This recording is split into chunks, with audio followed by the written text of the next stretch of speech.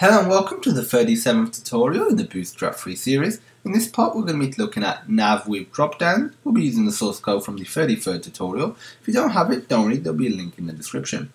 We have a nav setup. Bootstrap allows us to include dropdowns within our nav, which is very useful. To implement this is pretty simple. Let's show you the code. You essentially need a dropdown, which is covered earlier in this series, inside a list item. So just go ahead and open up your HTML file in a text editor. And if we scroll down here, so we have a list item right here, oh, we have several list items I should say right here. And what we're going to do is create a whole new list item. So we're going to do li, role is going to be presentation. It's going to have a class of drop down. Again, all of this was covered earlier in the series. Then inside here, what we're going to have is an anchor tag, and this is going to have a class of drop down toggle, and then its data toggle is going to be drop down.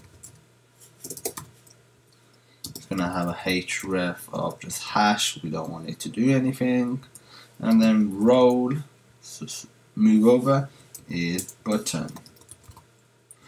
And the last thing is area expanded equals false.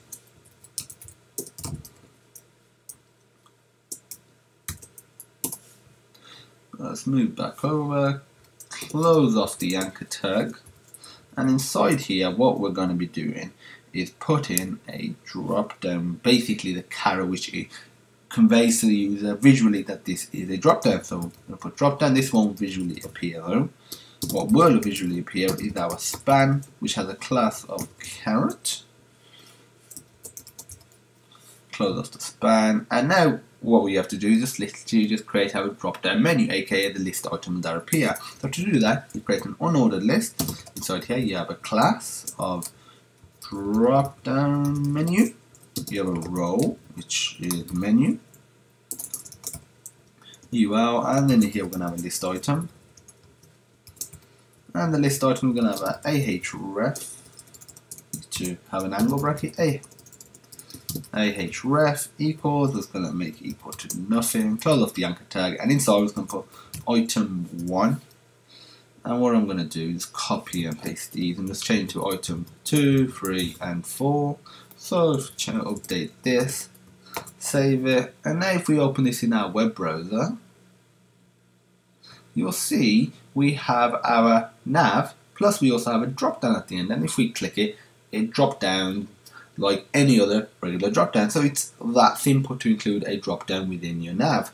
As an extra task, implement this in a nav with tabs instead of pills. The next tutorial will cover nav bars. If you have any questions, feel free to message us at support at sonarsystems.co.uk or the required source code will be in the description. To see hundreds of more videos like this one completely free, visit sonarlearning.co.uk and as usual, thank you for watching and I hope you have a great day.